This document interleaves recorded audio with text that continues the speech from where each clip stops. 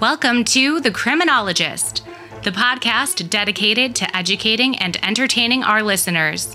We bring you subject matter experts from around the world and share the latest and greatest evidence based practices and interventions to help individuals desist from a life of crime and delinquency. This podcast avoids stereotypes and biases in favor of the lived experiences of those we can best learn from. Now, please welcome the host of The Criminologist, Joseph Arvidson. Hello and welcome to episode 179 of the Criminologist Podcast. Happy to have you all with us today.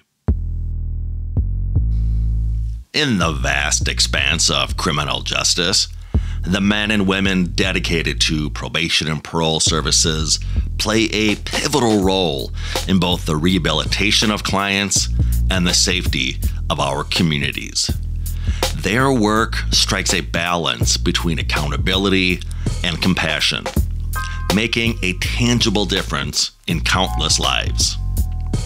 Today, we have the privilege of speaking with someone who's not only been at the forefront of these efforts, but is also poised to lead one of the most influential organizations in this space the American Probation and Parole Association, or APPA.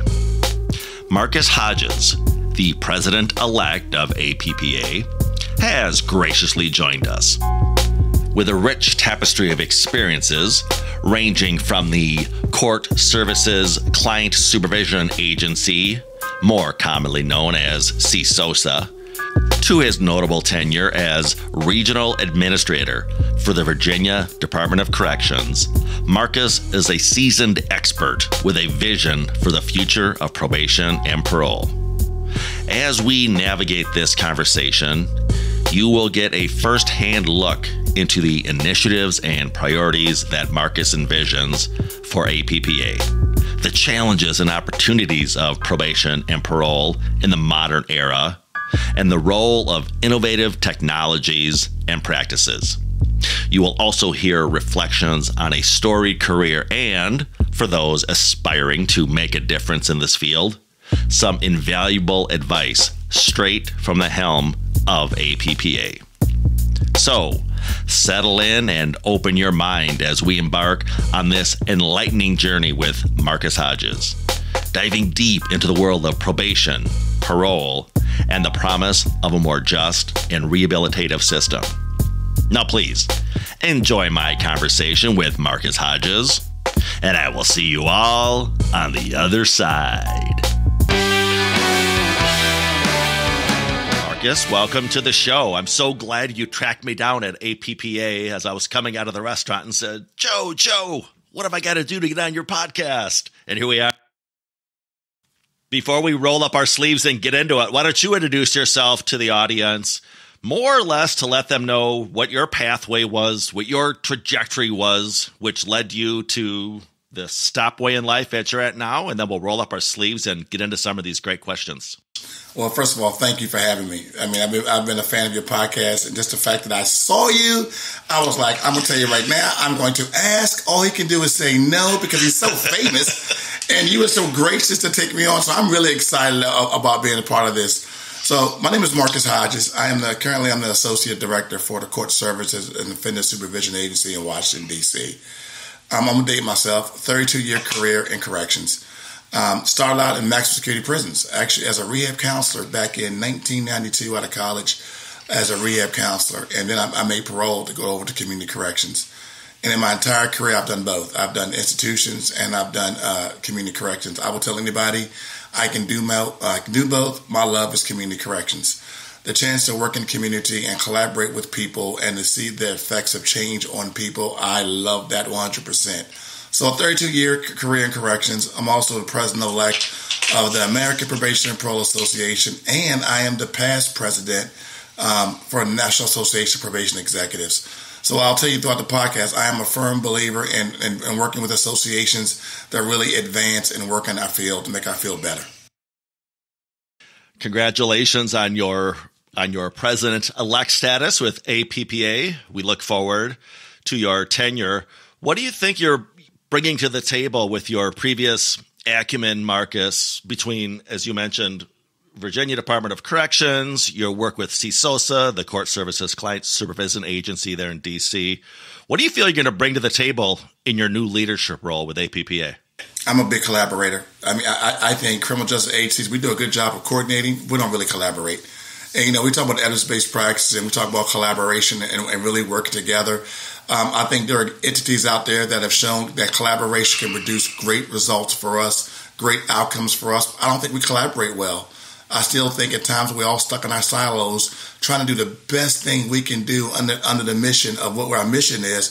But I don't think we cross over and collaborate to produce the best results we can. So I think one of my my primary mission is to collaborate with anybody who has the same values, and that's really to improve communities, reduce recidivism, and reduce victimization. That's what we're got to be about, and collaborate around those things. I had a guest on recently. We talked about the struggles of correctional reform and correctional implementation, even, and he echoed your sentiments. He said, "You know, we basically have fifty probation departments in this country." Sewn together trying to do their own thing. But then when people wonder why, as a vocation, we can't sort of get our act together here in the United States, that's one of the problems, is because so many systems at play here at the state level, and then even within the state level, there's there's as you know different systems. We have county, state, the feds. So it's a big monster to to get a hold of, so to speak. So kudos to you for bringing that spirit of collaboration and I would argue really just transparency transparency rather about what's going on and and what's working and and doing a better job of touting our successes so others can share from those positive experiences. I agree with you 100%. I think the main thing when I talk about collaboration is we don't have to do it all. I mean, some entities, probation is doing it all. They're, they're, they're the social workers, they're, they're Department of Behavioral Health, they're even the law enforcement aspect of it. We do not have to do it all. So when you're trying to do it all, are you really good at anything?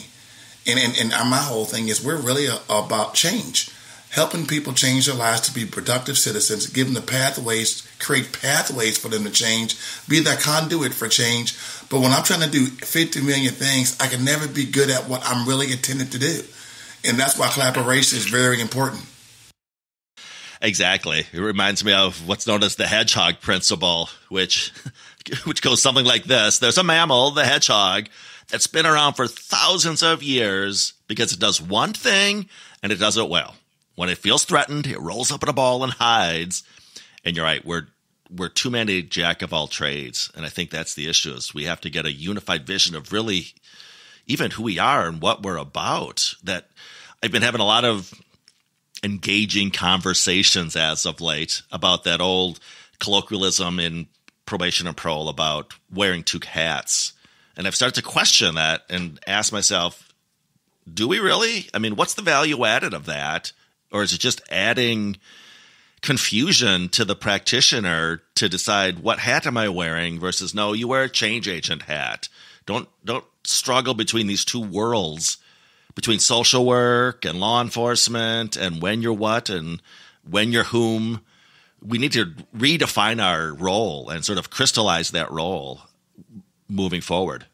Hey, look, let me tell you what that argument for years has gone on probably since the start of probation and parole supervision and still goes on. And and so my early argument, my, my argument coming back, I said we're balanced. I would say we we have to do both. Now I'm to the point where, well, that doesn't fit anymore. We're not balanced. We're neither. We're change agents. Yeah. I mean, and, and part of our role, part of our role in the change agent, there is a law enforcement component and, and there's a social work component. But at the end of the day, we're change agents. You know, I mean, so I, I really think we, we got caught up in that argument, and some people want to lean left and want to lean right, and then it becomes political, and then it becomes punitive, and then it says the pendulum swings everywhere. Where well, that pendulum is swinging, and there are people hurt because we're not doing what we're supposed to do. Yeah, and even at the individual level, Marcus, these are just my observations, but I think that mantra, if you will, of, well, we wear two hats, it almost gives license to the individual practitioner to gravitate towards whatever style that may be. So, in other words, if we have a more conservative officer, they're going to rely on the, well, we wear two hats. Four days out of five, I wear the law enforcement hat. Or on the flip side, you may have somebody more in the in the social work cap, thinking, yeah, I wear two hats, but four days out of five, I'm a social worker. And the client isn't going to benefit from that. Our stakeholders aren't going to benefit from that. We need to clarify our role a little bit better, I think. Throw the hats away and be who we are. We're exactly. changing. Exactly. Exactly. So, exactly. Yeah, and in, and in this argument, in this discussion, in this right now, instead said the hats are gone, you're this. Because here's the thing: being a change agent, being a change agent is not soft on crime. Matter of fact, holding people accountable is more crime reducing than anything in the world, but giving people opportunities where they can thrive. Yeah, hundred percent, hundred percent. I mentioned APPA, the American Probation and Parole Association Training Institute, which we just had in lovely New York City. It was amazing. Share some of your key takeaways or even transformative ideas that that you were presented and how do you think they'll shape the future of probation and parole? Well, there, there's there's a couple of topics. I mean, uh, the, the, conference was phenomenal, and if, if, if you didn't go, you missed out. But there's another one in Seattle in February that we'll talk about later on. Uh, but it was a great conference. Uh, one of my takeaways, um, we had Larry Miller, and Larry Miller wrote, wrote a book from, called Jump, and really it's about a story about redemption, about a, a person that committed a crime years ago, confessed it later on, got amends, made amends with his with, with the with the victims, and a real a, a wholesome story about how um, redemption works in our spaces. And this man has done everything. This man works for Jordan brand and, and, and, and has made a lot of money and is a great guy. But his story really touched the heart of officers. And also, I think the story was the impact officers have when officers show empathy, when officers show, you know, I'm invested in you, when officers make those statements, then he said that made him feel great. He didn't want to fail. And it wasn't, he didn't want to fail an officer. But when the officers act like they didn't care, guess what? If you don't care, I don't care. Why should I care? So that power of the tongue and how we speak life into people was very powerful. And we had that testimony throughout the whole conference. I think given the platform for those who have had lived experiences, and allow them to give us feedback on the supervision process is huge. I think for years that voice was silent. It was silent among all of us because it's like we're directive and how we we know best. We don't want to hear from you because if you knew best, you wouldn't be where you were. But now we're opening up under the guise of collaboration, of hearing different voices of how we can improve our system. I mean, so those two takeaways from there were very powerful. I agree. When I was debriefing the experience with colleagues who weren't were not fortunate enough to attend, I had the same takeaway. The the uh, the spotlight, if you will, on those with lived experience, and finally sharing that perspective, as we should have a long time ago. I often tell the tale of it's like if we got all of the medical professionals together in this country to reformat the way we deliver medicine, but we never talk to patients. Nope. Or we got a bunch of education specialists together about how to reconfigure the way we deliver educational interventions, but we never talk to the students. It's just in hindsight so so so backward that we wouldn't hear those voices. And yeah, Larry Miller, great job. I also attended the plenary in which Jonathan Fisher screened his amazing documentary in a whole new way, which also leaned into that concept of sharing the perspectives of those with lived experience. It was really all about perspective taking for me. Yes. I mean, it, I, I tell you what, I was um, I'm blown away about the conversation that we can have, and I think uh, give you a prime example. We had the Reform Alliance, and um, Jessica Jackson spoke on Saturday at, at the, we're the Women's Executive Summit. And um, you know, when people talk about reform, they want to reform probation and parole. People are like, ah, those people, those advocates. But we can have a civilized discussion on the on reform and probation and parole. And I don't have to I don't have to take offense to anything they say because here's the thing: most of the things they're saying, we agree with. Ninety percent of what they're saying, we've been trying to fix for years, and we know what's wrong with the system. So why will I take offense when someone else outside says it when I already know it's broke? Yeah, exactly. Hundred percent, Marcus. I'm a big evidence based practice champion. Regular listeners of the show will know that. We know that the American Probation and Parole Association plays a vital role in advocating EBPs. How do you envision enhancing these practices, especially when you factor in the diverse needs of our clients on probation or parole? I'm glad you asked that question because we had a great conversation about the re-engagement of evidence-based practices. And what I mean by that, um, we our work really shifted during COVID. I mean, our work really shifted during COVID, and we had to um, cut some corners and we had to do things because we had a pandemic. Well, two things happened with that. Number one, it showed that every correctional agency across the country, community corrections or corrections, they can change on a dime. For years, we said we can't change. It's like turning the Titanic. It takes time. Every one of us changed in two days. When the country shut down, we said, "We out. We're done. It's over." We we wrote policies. We wrote procedures. We changed our business. Right? We did every. We did telehealth. We did all this stuff like this. And I'm thinking, well, I thought we couldn't change. So then it showed me that we can change. Um, what I am leery of is that this whole notion, we know evidence based practice is if, if we do it with fidelity and we do it well, it produces our desired results. But I'll be honest with you, I don't know how many people are doing it well. I think we pick and choose the things we do. We got a risk instrument. Oh, we're doing evidence based practices. Well, just because you have a risk instrument doesn't mean you're doing evidence based practices. And, and, and so it's like after coming out of this pandemic, how can we push evidence based practice in a way, knowing that we just made these changes real quick to get to those outcomes where people can fully implement all the practices? Because I don't think we're there yet. The devil's in the detail with implementation. You're absolutely right. I, I often tell people nobody's reinventing risk needs responsivity. We've known about it for 40 years, 50 years it, the devil's in the details with implementation science. And to your point, it gets lost in the weeds. I often talk about also because there's a zeal, like you said, to almost check that EBP box. But I sometimes have a love hate relationship with the fidelity principle. I, I clearly understand the importance of if you're going to do this intervention, this off the shelf program. You have to do it as as it was intended. But we get so almost tunnel visioned, I think, sometimes that it inadvertently becomes kind of a weird one size fits all or square peg round hole. And the practitioner doesn't see the forest from the trees. No. With all due respect to my good friends at the at the NIC, the National Institute of Corrections, I know, for example, that in their trainer guide for Thinking for a Change, it will coach new facilitators. Hey, if you're if you're if you don't have your sea legs yet, go ahead and just read this script word for word.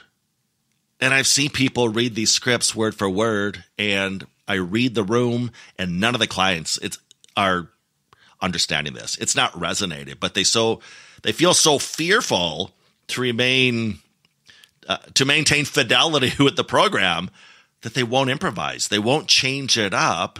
And they're thinking, this is how I've got to deliver the Kool Aid, or it's not going to sink in. I don't know if you know Dr. Rafael Ventura. He's with LA County Probation. He, Rafael and I were having the conversation about this recently, and I loved his takeaway. And I said, I'm going to steal this, Rafael. But he said, we have to be careful because people think evidence based practices are a silver bullet but not all of our clients are werewolves. we have werewolves and vampires and mummies, so you have to contextualize these EBPs, or it's almost just really defeats the purpose. You got to tailor them. I mean, so, so, so, so, I tell people this: you are so right. Um, I, I, I, think what, what happens with that, and I, I get the fidelity piece. I totally get the fidelity piece from the academic standpoint. But then I'm the practitioner, and practitioners know everything is great. Mm-hmm. And, and, while you may have the my, my intent may be this curriculum and get through this thing today, this person is hungry. This person has to fight with his girlfriend. Something is brought up in there, and if I don't address that right now, then I'm not going to get anything out of it. And, and, it's like so we create robots to do this cognitive behavioral programming, but I need someone who can decipher when to do this and when to do that, and use that as a guide. I'm not saying go there, and I know when I say to people like Marcus, no, but at the end of the day when you're in the field doing this work, I've got to meet people where they are. And sometimes I got to punt. We'll still get to the end. I mean, so I, I get it, um, but I'm also a loosey goosey guy anyway. I'm a gray guy. I'm not gonna lie to you. Well, and we have to be. Our clients are complex individuals with complex risk and complex needs, and they're not the the the cookie cutter template that the designers of these interventions utilized when they when they came up with these evidence-based practices. Hey, I want to switch gears a little bit and talk about the role of technology in probation and parole, which I think I saw Joe Russo get an award at APPA. Joe's an amazing guy. Yeah. How do you see APPA integrating modern technology into into what we do just overall, I guess. Uh, we, we t- you talked about how it was sort of baptism by fire with the lockdowns and COVID and our reliance on technology as far as things like remote contact and stuff like that. But what role do you see APPA playing in how we integrate, emphasis on the word integrate, technical solutions without compromising other things we do clients' rights, ethics, things like that. Like that. Well, let me, let me tell you, we're gonna lead the way. I mean, Joe, uh, Joe Russo has done some good work, and, um, and we're we're on our, our technology committee um, for APPA, and we, we did some work for people that have experienced, but this whole notion of technology came up. I mean, so I look at the pandemic. Uh, we use FaceTime, we use uh, Skype, we use WhatsApp, any any any mechanism, and then we also did pulse surveys with our population during the process. And so what we discovered early on was that our clients actually preferred to FaceTime. And, and, and they, they preferred to FaceTime. We had longer, meaningful visits. Our collateral contacts doubled. Our, our groups that we're doing through telehealth had a, almost a 90% completion rate, all because we use technology. So why is that? They came back to say, well, we feel safer, number one. Where, where, where don't have to cross neighborhoods or sit in a group with someone who I think may shoot or kill me or something like that. I can be authentic on this on this screen, and, and so it was a lot of success. So I think we got to continue to lead the way in that because I'm fearful that we I don't want us to go back pre-pandemic, and now we're going to bring everybody back to the office to do this work, which we know there has been so much gains as far as technology. But there's whole use of AI. AI is intriguing to me, and and and so I saw a, a demo in New York where they they gave AI these four criminogenic factors Okay. And and it did a case plan and almost did a PSI based on four criminogenic factors. I don't think my staff, and I'm, I'm not going to get y'all, they couldn't write a better one. I'm going to tell you that right now. it gave the roadmap. It was freaking right on just using four criminogenic factors. So for me, how can we get out in front? Because AI is not going anywhere. It is here. How can we leverage AI in a way to make our outcomes and our supervision practices better?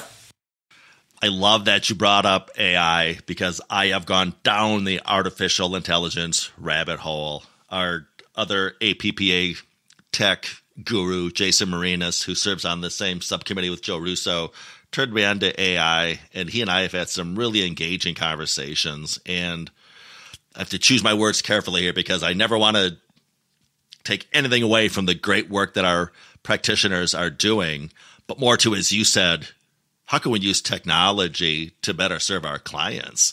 And I think, yeah, when I look back, I'm an old codger like you. I started my career back in 1988.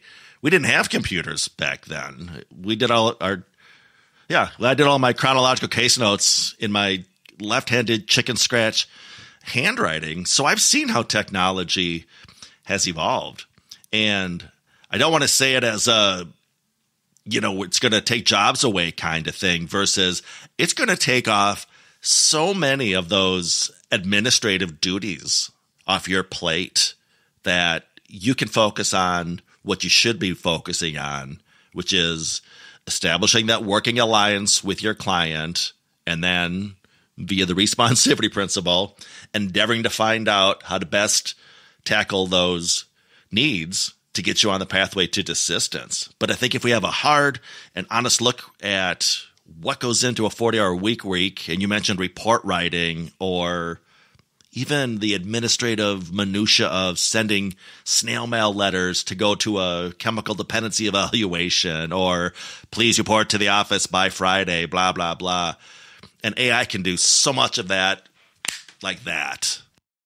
Well, you know, you think about this so there's not a probably a probation and parole department in the country that does, not having a recruitment or retention issue. Mm-hmm. I mean, I mean, I mean, so caseloads are skyrocketing in some cases. So what can technology do? How can we leverage technology to, to negate that. And then so there's a bunch of administrative tasks that technology and AI can assist. So if I'm having a recruitment issue, I, I, I can I can cover from using technology, and I think that's where we hit it. I think that's where we have to hit. And yeah, and again, focus on the things that the human touch is necessary for. Like I said, those relational pieces that are so important to the process of of desistance from crime. Well, you're right because look, if, if you look at if you do a time study in most probation parole departments, more time is spent administratively than working with the client. I mean, everybody knows that. And anybody mm-hmm. want to tell me that's different, then I want to come visit your shop and show me what you're doing differently. So how can I negate those administrative tasks so my officer can be in the community, engaging with people in the community, engaging with collateral contacts, engaging with our clients so they can be successful? That's where I want them to spend the majority of their time, not doing administrative tasks. Yeah, exactly. Exactly. Marcus, I've been mentioning desistance from crime, which regular listeners to the show know what I'm talking about. For, for the uninitiated, in short, our current risk need responsivity framework really examines, assesses, and then builds interventions around those pathways into crime, commonly known as those criminogenic variables. Whereas, on the flip side, those in the desistance camp got the bright idea hey, why don't we examine those pathways out of crime? And what they discovered was they're not all the same. So, in a sense, we're really missing half the equation. I know you've done some work with our mutual friend, Dr. Ralph Serin, around the DRAOR, which is one of his assessment tools designed to measure those desistance correlates. But talk about your experience considering desistance with your staff there, particularly at CSOSA, and just how you envision maybe broadening the the lens of how we how we view the populations we work with to consider both of those lenses, if you will.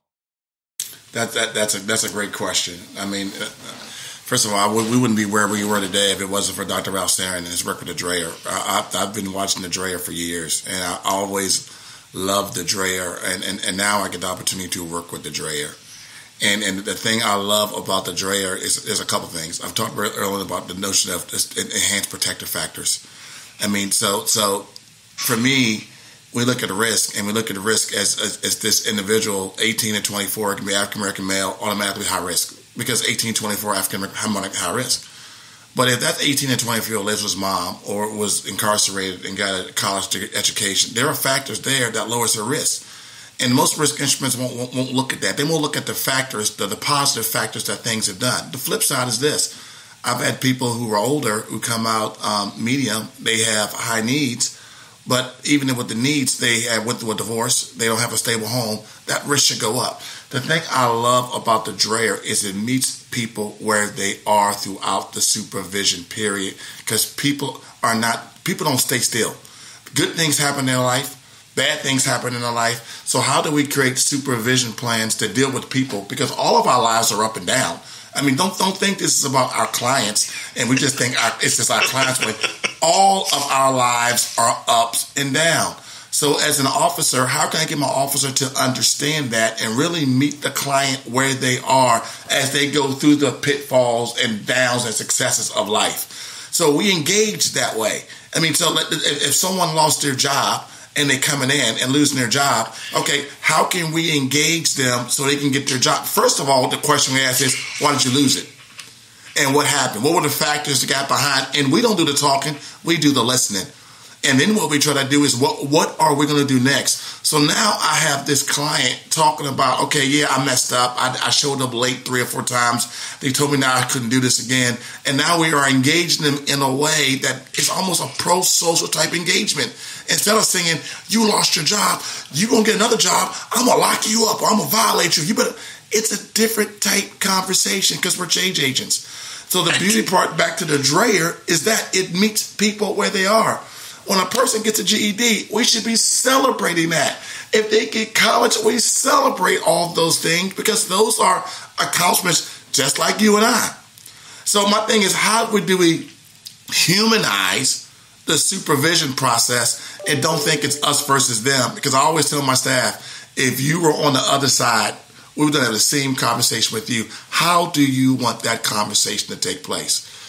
Other thing I'll talk about this is what we failed miserably at years ago, and I think we're really good at it now, is we didn't take uh, into consideration stabilization factors. We, we, we, didn't, we didn't take into of, of, of having good housing, uh, of having a place to eat, and those factors that people need right away. And, and now that's one of the first things we look at. Before I jump you into a cognitive behavioral program, before I say you need to do all this, we try to stabilize first because we've had a lot of failures by doing just the opposite. If we don't stabilize first, that cognitive behavioral intervention is not going to be effective at all. It's a waste of your time and my time. But if we can stabilize them first, find them stable housing, give them food. If it's mental health, give them treatment. Then I can do my dose of cog. That's going to change behavior. So it's really a, a humanistic approach to supervision where I think years ago we weren't. It was cookie cutter. You do this, you do this, you do that. Well, and I can throw myself under the bus as far as it was cookie cutter. And again, I had a stranglehold on fidelity, if you will, because out of the official R&R playbook, you would look at those stabilization factors that you just articulated as as responsivity considerations. But it almost was like an afterthought because it was just beat into our head of the big four, the big four, the big four, the big four. And the other thing that you pointed out, and I learned this from Dr. Serin as well when he was training me on the on the DRAOR assessment tool was that tool is much more sensitive to change versus the traditional R&R tools we look at, which are historically done on an annual basis. But if you think about, and you pointed this out when you said clients are like us, we have shit going on in our lives all the time. Well, so do our clients. And if you use those traditional R&R tools, which only capture a snapshot of that client's life on sort of any given Sunday, whenever that assessment's done. Think about that everything that can change in that client's over the next 364 days before the PO gets the alert, oh, I've got to do a reassessment. That client could be assessed and get a, a medium or low risk score on, a, on an R&R assessment tool. And the next day they get fired from their job. And then they come home and they tell their girlfriend they got fired from a job. And he she she says you're a bum. I'm i'm kicking you out. He's so upset. He's so heartbroken. He goes to the bar and now he relapses.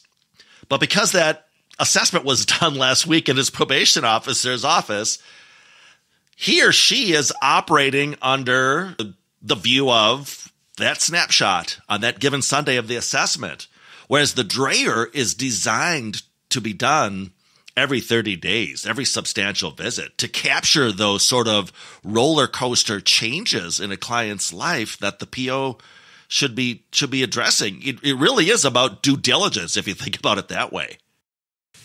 You are. You say the example you gave is what happens probably throughout the country.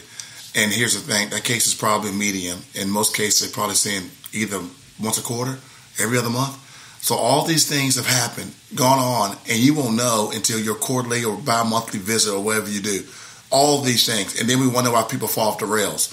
The, th- the, the mm-hmm. thing about the DRAOR, you use this tool every 30, but you also show the client. I want the client to know where he's at or she's at. I want to share it with them. Well, how do I get that? Well, these were your responses. Do you disagree or do you agree? So you're having this ongoing evidence based conversation, not just with ourselves, but we're having it with our clients. So now they are in tune to their success. Yes. yes. Marcus, if you think about why, like, not to bring gamification into this, but even think about, you know, the weight loss apps on our phone or the, or the electronic wearables we watch that give us those sort of nudges like, congrats, you've reached your goal. Here's your ding, ding, ding, ding bonus or whatever they're giving you. That's human nature. That drives us to do better. Imagine if you or I or any of our listeners out there were undergoing a personal change initiative and it was all right joe start your new intermittent fasting regime on september 1st 2024 and we'll see you in a year uh, we're not going to give any updates on how it's going for a year versus those positive reinforcement nudges along the way. But to your point, that's kind of how we supervise clients when the that normative feedback they get based on their assessment is annual. But in the meantime, we're just coming at them with all the degradation ceremonies and celebrating their failures and all the non-compliance and stuff because that's just sort of vocationally how we're hardwired. But we, but we wonder why. I mean, because now I can show you. I mean, I mean, I, I only know the DRAOR because we're working with the DRAOR, and so I'm not. You know, I'm just. I can show you pitfalls. I can show you successes. I am with you every step of the way, and I'm sharing this information with you so you can control your own life. It's not for us as the officers to control your life. I want to show you the pathways that we got. So when they're engaged in that, and and most of them are like, "Whoa." I mean, they can't believe what we do and how we do it and how they do. And now they want to do better. Well, how can I get here? And now when I reward them by reducing supervision levels based on the things that they have done and taking some things off the plate, because at the end of the day, I want them to be productive member of society. I don't want them to have to have, be on supervised probation. I want you off living a crime-free life, doing everything you should be doing. That's what we want. So the less is more. I can I can come tight, but I'm trying to less and gradually get them on their way to get off. The thing, and you know this from working with the DRAOR, it does incorporate those protective factors like you pointed out. So when you review it with the client, it's not just the traditional, here's all the 43 shitty deficits in your life that this risk tool told me about.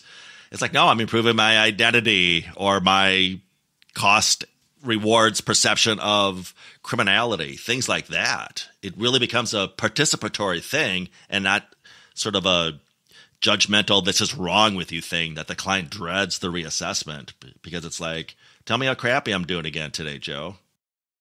You just said something. So think about it this way antisocial peers. Yeah.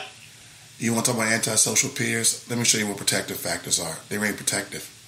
Mm-hmm. I can take that criminogenic need right there and have a conversation with the client that the importance of having a mentor, mm-hmm. having people that care about them, not the antisocial peers who don't care about you. I can have and show them that when they have these positive people surrounded around them, good things happen. I can show it through science. I can show it through everything else. I am addressing a huge criminogenic need just by showing the protective factors version of it. Yeah. If nothing else, you're right. If we just sort of flipped it around like that. But again, I think many of these tools are just too binary and they don't capture the grayness, as we said, even with with peers, which we know is a huge criminogenic factor, right? But I sometimes think it's almost again too shallow or, or doesn't dig deep enough because it doesn't take into consideration the fact that somebody who's thrown into that so-called antisocial bucket when it comes to scoring the orbit of individuals in a client's lives, some of the definitions we use, I think, need to be dusted off. For example, if I'm interviewing a client and I'm doing a sociogram to sort of capture, as I said, the orbit of friends and associates, if you look at the so called user's manual, and you see things like, well, we met in jail or we met in prison or I, I met him in a, a relapse group. We train staff, social learning theory, they're going to model negative behaviors, score that as risk. But when we talk about, for example, we talked about how APPA last year really leaned into leveraging lived experiences. I know there's been a trend with utilizing what's known as credible messengers, that would throw that formula out the door because one could argue at least if the if the assessor didn't dig deep enough those individuals those credible messengers would be deemed antisocial because of some of those user manual textbook definitions of how should I define this person risk or no risk risk no risk maybe talk about your experience with credible messengers to shine some light on this this topic that I'm trying to articulate here. Yes, no, you, you did it fine. I think we need to rethink this. I mean, so I'll, I'll, I'll give you two stories real quick. So I was at a um, uh, it's a program we had in my in my hometown, and it was really talking about local reform, criminal justice reform. And they had about uh, 15 guys, returning citizens. Um, all of them served a lot of time. About three or four of them had their turn their sentences overturned um, because they were wrongly convicted. They all knew each other. They all knew each other, and all of them would say, "This such and such." He was my mentor when I was when I was down. If it wasn't for him, I wouldn't be where I was today. He kept me straight while I was in prison. And it was this mentorship, this pro social mentorship that I saw. And they took this group picture. But to go back to what you're saying, it we need to rethink this. We need to re, we, we need to freaking restudy this. So then, in every major metropolitan city, you have these people called violence interrupters, and they're using lived experience people to go to the neighborhoods yep. to a comp, and everybody's hiring credible messengers that assist with the supervision process we need to do some better research on that because I think that's an outdated philosophy that's not relevant today. I mean, and, and, and so um, I don't know any emerging work for that, but from what I see through my lens, and it's anecdotal, I know we got to do more we got research on this. I think that tide has changed. Now, I'm not saying across the board that's always the case all over, but we had this notion. It's like sometimes probation. I'm just going to be, I'm to be controversial, Joe, in a second.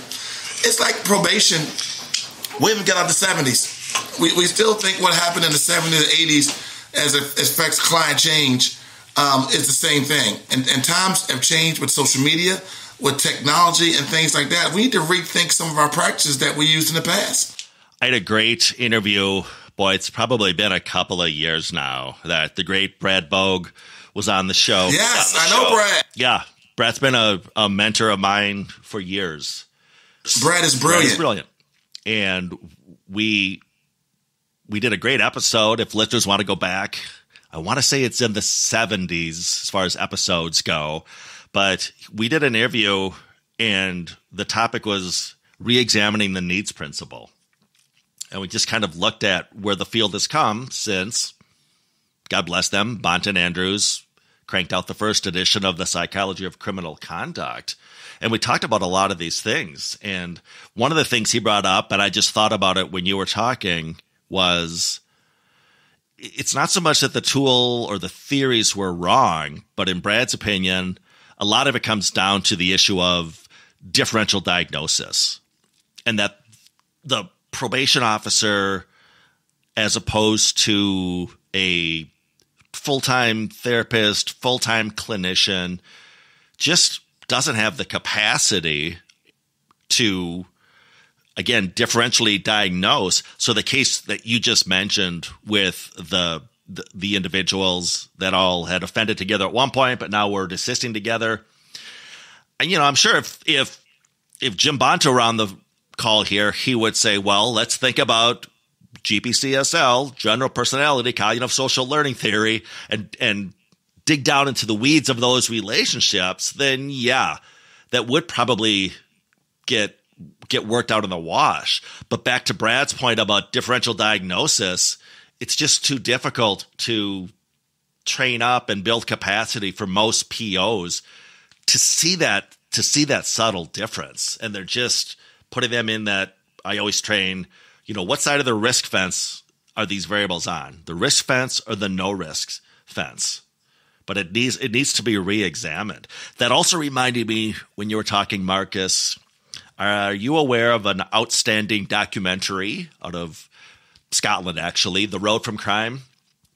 Road from Crime is an outstanding documentary. It was produced by Fergus McNeill and Shadd Maruna, and they do a great job of interviewing folks with lived experience who've desisted from crime. They also talk to academics. So Faye Taxman's featured in the documentary. John Laub of Harvard University is featured in the university. But at one point, they come from, they go rather from Scotland to Baltimore, and they're talking about some gentleman who, when there was the heroin explosion in Baltimore in the 70s and 80s, they offended together, they started using drugs together, but then, voila, they desisted together. And it does a really insightful way of illustrating what you and I are talking about here. And they make the point of desistance can be de- contagious. Just like when you look at social learning theory, which is the foundational theory really behind the risk needs responsivity model. And we talk about, yeah, when you model these delinquent behaviors, whether it's through delinquent peers or a dysfunctional family relationship, yeah, that, that delinquency can be contagious. Well, flip that same spirit around and they've discovered desistance can be det- contagious too. But again, I think it's a vocation. We're so deficit driven that we just look at playing whack a mole with these risk factors and don't consider, you've been doing a great job of it, Marcus.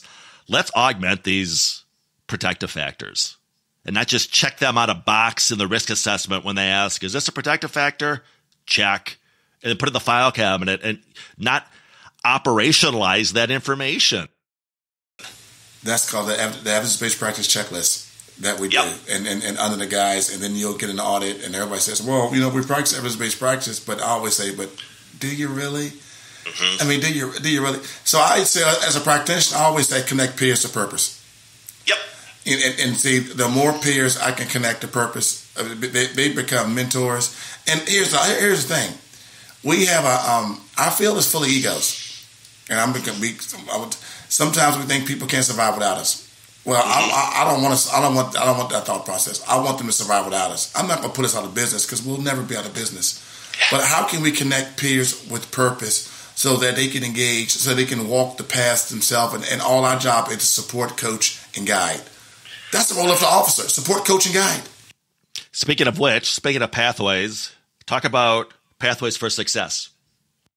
Oh, baby, hey, hey, this this this is my baby. I mean, so you know, we, we, always try to figure out what are some pathways for success in, in supervision, and we, we've done some out of the box things. So, first thing we did was, um, you know this because you're a practitioner. You know, everybody on probation, especially young, wants to be a rapper.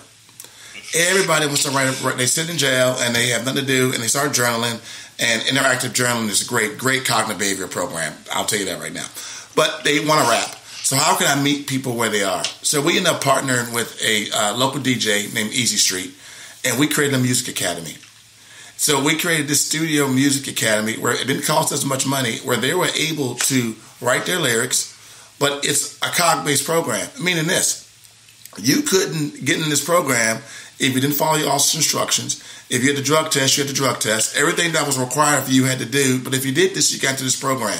At the end of the program, you, we shot a video in your neighborhood, a rap video that's online. It's online. So we had to we had to worry about the words, but we we cleaned that up. But that was one of our that's our first step into meeting people where they are. Now, no one has become got rich over a rap, being a rapper. No one has. But people of that class is 100% full all the time. He does life skills. He introduces yoga. He introduces them to a whole world of jobs. Everybody works. And the whole notion about connect peers to purpose when they graduate, they come back. So we're in our fourth or fifth cohort of that and just simply meeting people where they are in supervision. It's a great out of the box program that we created. So that was one. I think the other thing is to get into this vocational world of how we can teach our young people for jobs and careers. I mean, so we always push education. Well, if you're reading at a third or fourth grade level, and I'm only only on supervision for 18 and 24 months, the likelihood of you graduating in that time frame is not going to happen. Um, but we can be parallel tracks. So how can we create vocational opportunities where you can work, get a certification that can lead to full time employment, and work your education? Once again, pro social activities that we're creating for them. And what we discovered when we do that, my cognitive behavioral therapies work very well because if you don't do this, you can't get this. So everything is a parallel track, meeting them where they are. So just different pathways that we created. I really think you're onto something there, and maybe we can all learn from that. It's about again, not necessarily building a better mousetrap, but just maybe I don't know, slapping a fresh coat of paint on it. And I love what you're doing there with the that group. You said, and I can relate. Everybody wants to be be a rap star someday, but if it if it taps into their passion and gets them excited, and you sort of, as you said, backdoor the cognitive behavioral inter- interventions in there, then why not? It reminded me, I just mentioned Rafael Ventura when I was visiting him recently. We went to some facilities out in Los Angeles. And in one of them, Campus Kilpatrick, they were really utilizing technology specifically around virtual reality. And in short, they were using VR, VR headsets to teach kids COG. I mean, on the surface, there's a line for these kids to put these headsets on because on the surface, it looks like you're fighting dragons and trying to level up. But really, the dragon is, for example, illustrative of your anger or antisocial thinking. And you've got to slay the dragon, so to speak, using emotional regulation or the other things we teach them on a chalkboard in a classroom in a juvenile detention facility and can't figure out boy marcus why isn't why isn't this cog homework sinking in like the folks at nic told me it was going to do? He wasn't practicing it in the right exactly. Setting. and that's what i meant about putting a fresh coat of paint on the mousetrap. It's like let's not throw everything out. Don't throw out the baby with the bathwater but just talk to the customer duh and see what's going to resonate with them. Hey, we we know our script, so we know the route. We, we know the route where we want to go. It's just at times I have to have them drive the car, and, and it's, yeah. it's, like when you I learn to drive, and the instructor has a wheel, and you have a wheel, and I got to brake, and, and, and, they got the gas, and I hit the brake, and I and you're, you're driving because it's your life. But that whole notion of, I mean, you talking about technology early on, that VR headset, and we've seen components of this in which, like teaching COG, and you put them yeah. in real life situations that can occur in the neighborhood, and you see how they're going to respond to that. Yeah. I mean, that is a great test site using real life experiences, and you get great feedback, just not just from a piece of paper, but they have to act it out because it's right there in front of their face. The other thing that was an upside to using the virtual reality headsets was again, you're removing the child from the traditional classroom setting where he's surrounded by his peers and, and you've got a classroom full of class clowns, right? No one's going to raise their hand to volunteer. No one's going to be the teacher's pet. But in the privacy of those headsets, they learn. It's got me thinking now, Marcus. You know, we know that at the end of the day, with these cognitive behavioral interventions, it's all about getting the client to understand the thought behavior link. I'm sending out a, a call to action, listeners. All right. You just have to come up with a, a mechanism to instill into your clients the thought behavior link, whether it's the program you just described or something along the lines of what they do with VR. But let's get creative and just think of whether it's storytelling or media or technology. Get 100 people to come up with 100 great ideas how would you tell or again impart upon someone the value of their thoughts and only their thoughts control their behavior? And then we just build it up from there. Look I, I tell you what your listeners do that we got gold. I mean because here's the thing. Everything that we're talking about i mean the vr sets cost something but we can create it. It doesn't cost a lot to meet people where they are. Our clients tell us every single day what their needs are or what they want how can we meet them there, give them what they want with some assistance, but then also get what we want? I mean, it's like it's no different than a, it's a shared case plan. I mean, but but but do we? Is it really shared? No, because we don't listen to them. I mean, so it, it, took me it took me a couple years to listen. I ain't gonna lie, I just didn't get here, so I get where people are. but I I found our success is just really simply listening to people what they want, and if we can guide and give them those tools Hey, hey, look, man, it's the best thing ever. I know one of our sites in Southeast that we have, we, we put a, a, a PlayStation there. This was years ago.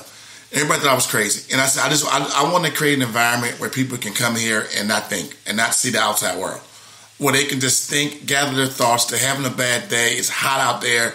They need to just get away. Just something. I need a, I need a base, a safe space base, and that's what we were trying to create just for them.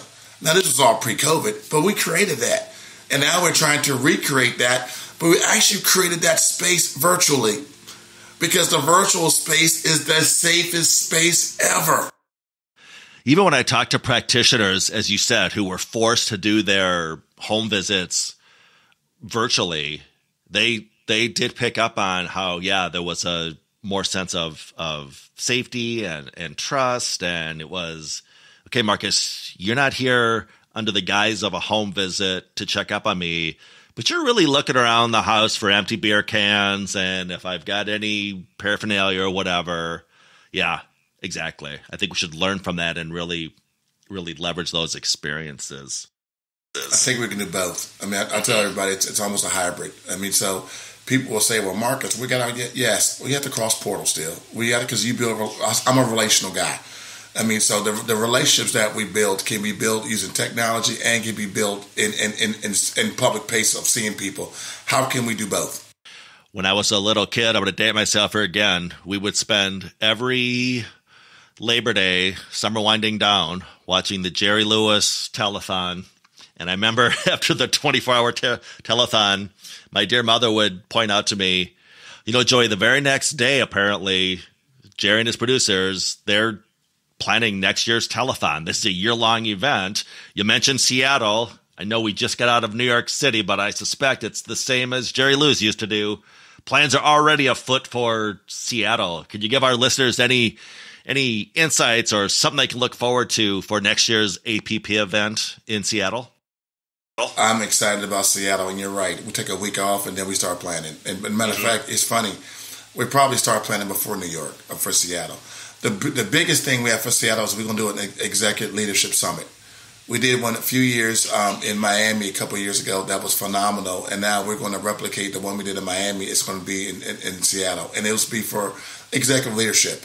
I mean, there's there's not a lot of executive leadership and community corrections summits that we have, and so the, the first couple days we'll just bring in executives, 150 executives from across the country, diverse, to really talk about the state of community corrections and really have that conversation and, and, and really have some leadership principles. We will be dipping our toe in AI with some demonstrations around AI because a lot of people are asking about technology and the future of community corrections. So this will be the futuristic conference where you will see a lot of notes about technology. We're in the Microsoft Capital World. We're in Seattle. We're out there. So yeah. we are going to be digging into technology and AI.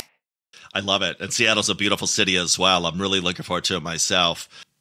Finally, Marcus, for our listeners who might be considering a career in probation or parole or even a deeper involvement with the great APPA, what advice or insights can you offer?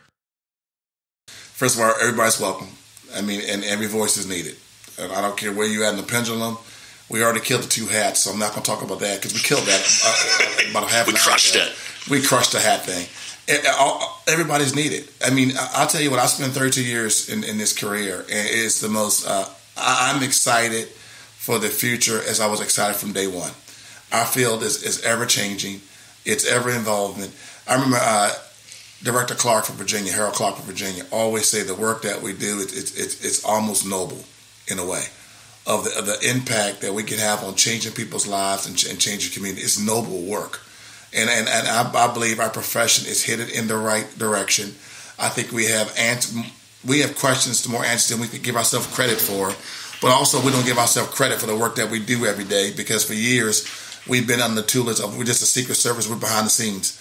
And now you're starting to see community corrections become to the forefront of probation and parole supervision of having an impact, not only changing people's lives, but change the community. I'm so excited about our future, but we need everybody just to, to line up and show the world what we do every day. Speaking of the future, Marcus, I often ask my guests to look into their crystal ball and imagine if I have you back on the show in, let's say, a year or even five years, what do you think we might be talking about then? AI. AI. I, I, I think with our recruitment, retention issues, I think we're looking at workload and things like that. I, I think you will see a big push in artificial intelligence in our, in our, in our field. I think we got to be careful, and I think we need to. It's okay. It's like GPS.